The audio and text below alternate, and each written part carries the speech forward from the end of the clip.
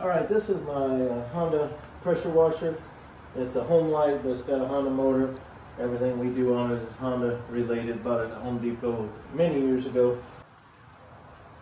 Okay, uh, my air filter is usually clean because this is sitting on pavement almost all the time I use it. You got these two little tabs on your air filter cover. Push those in.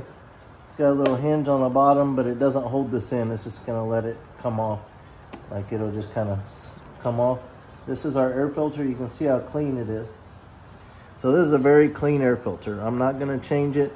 Um, is super clean on that side here. You just have a little bit of uh, discoloration, but this is a very clean air filter. You can see how clean it is in there.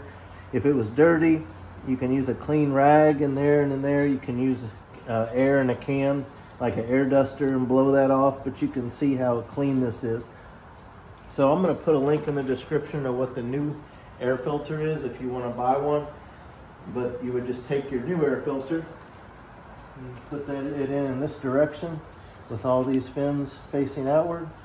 This you have to start at the bottom with the hinges. They just rest on there.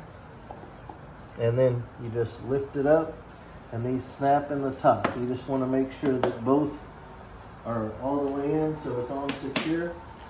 And that's how easy it is to change the air filter on this. Hope that's helpful. Thank you for watching.